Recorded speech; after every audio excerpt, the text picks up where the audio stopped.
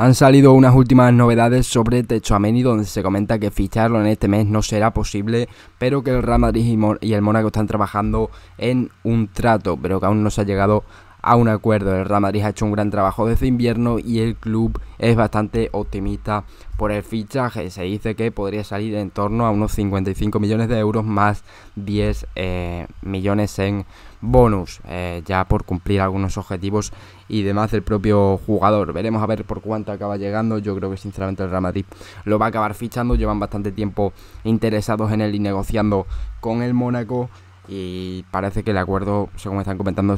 estaría más cerca que nunca, pero no se llegará al acuerdo en este propio mes eh, de mayo y habría que esperar ya a verano para que el Real Madrid eh, se meta en negociaciones para llegar a un acuerdo eh, por el fichaje de Techo Ameni, que yo creo que sinceramente es un fichaje primordial para el Real Madrid. Yo creo que Casemiro necesita un suplente en esa posición para rotar y para tener llegar más descansado a final de temporada y parece que el Real Madrid también lo tiene claro y por eso estarían trabajando en el fichaje de Jay que es un jugador bastante joven que está siendo una de las revelaciones sin ningún tipo de duda de la League One y bueno, ya ha sido incluso convocado con Francia, ha jugado incluso algún partido de titular, es un jugador que parece que tiene un futuro brutal y el Real Madrid lo sabe y por eso lo quieren fichar.